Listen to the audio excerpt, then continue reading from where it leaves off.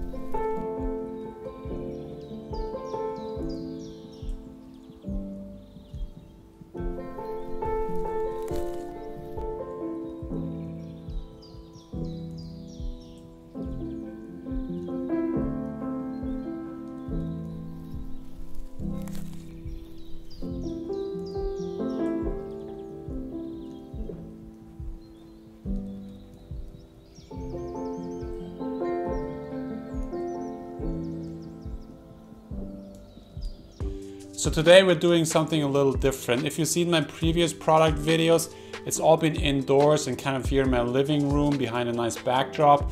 And this time we're going actually out in the forest. So we're not shooting in a studio, we're going out on location. And and this video is about a hunter's jacket and we're gonna use all natural lighting. We're not gonna use any artificial lights. And there's some tricks you have to keep in mind when you shoot without any external lights.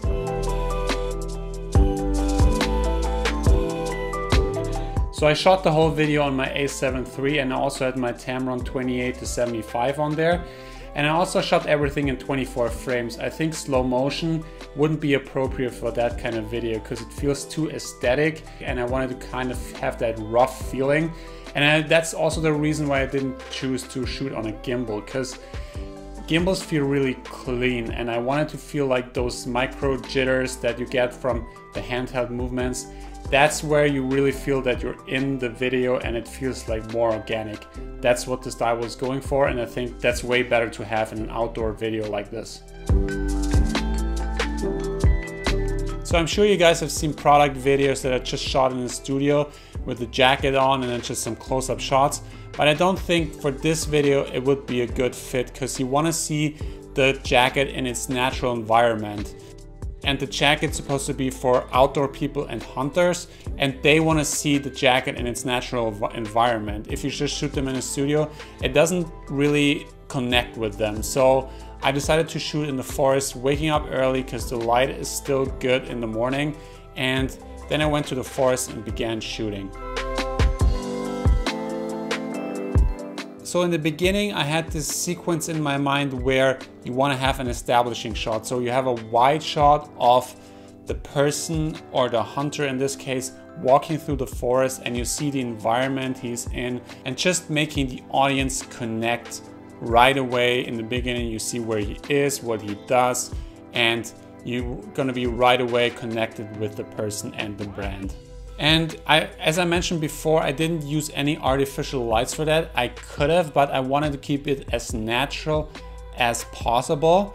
And the reason why I shot at like early in the morning was the sun was kind of going through the trees. If the sun is up over the forest, you don't get these nice shadows and you don't get as much depth because the sun is just hitting from above. But let's jump to the actual location and explain it further there. So now we're gonna make a walking shot through the forest and I'm gonna have him walk through the trees and I'm gonna follow him parallel with the camera. So I have the grass in a nice foreground that I have more depth in the image.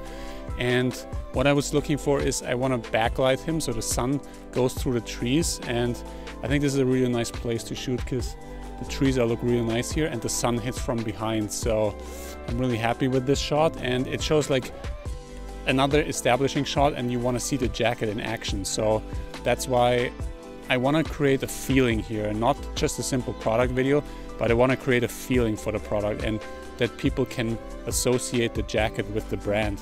And this is where you wear the jacket, right in the forest.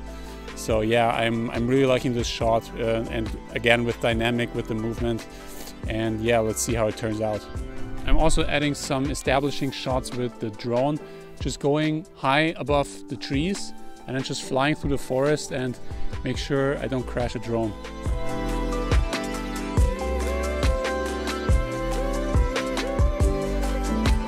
And there it happened. I crashed my drone against a, tree here and one propeller flew off.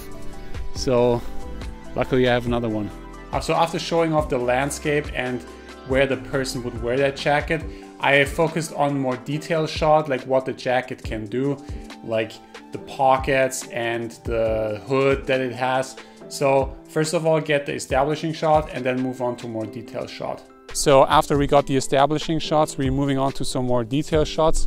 We're gonna have the camera punch in on the cuff here and we're gonna have some action here on the rifle and we're just gonna punch in smoothly with the camera and make it look more interesting with some movement. And also I wanted to create a little story here, not just some random shot thrown together.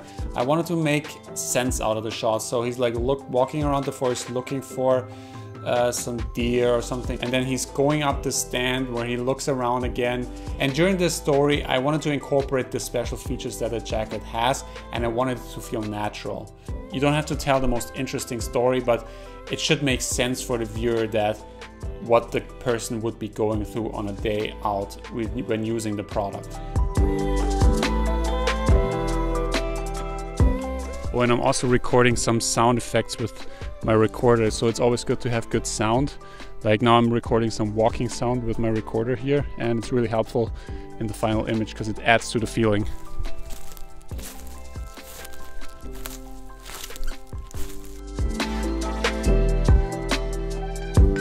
So the client didn't want to have call out titles because he thought it's a really self-explanatory what jacket can do and I, I agree. But just for the sake of this videos I added a few call out titles to see how it could look like and how easy it is to get those titles nowadays. All you have to do, you go to Storyblocks or some other website and you download the template. There's tons of templates out there and you just gotta adjust them in Adobe After Effects and I'll show you how to do that now. So first of all, you gotta open up the template in After Effects. Then you wanna drop in your video layer that you wanna have the call title on. Then you wanna right click on the video layer and go to track and stabilize and then select track motion. And then this tracker appears here. And you wanna go to the tracker tab on the right and make sure that position is tag ticked. And you also wanna go to transform only track type. You want to go to edit target and make sure that the pointer control is selected. The pointer control is basically the where you call a title wants to point to. And then you can move around that square here and find a point where you want to attach it to. Usually a point where there's like a contrast difference, which is, works the best, but you gotta just play around with it a little bit. And then once you've found your point, you can like extend the area where it searches for that specific point. And make sure you want to go to the beginning of the footage because otherwise it doesn't work. And then once you're happy with the point, you just click on Analyze Forward. And then once you're happy with the result, you just go to Apply. And there we go, the tracker is there. Uh, it's pretty easy. Then you just change the text on the tracker and there you go. That's the, basically the call out title. And I think these titles, they're so simple to do and they add a lot of production value because a lot of people think it's really complicated to do them, but now you can just download those templates and adjust them. And it's really simple to do as you have seen. I hope you learned something in today's video and enjoyed the change of scenery a little bit. If you liked that video, hit that like button. And if you want to see more videos like that, behind the scenes of product videos, subscribe to my channel. I have tons of more stuff up there. And as always, Thanks so much for watching and I'll see you guys in the next one.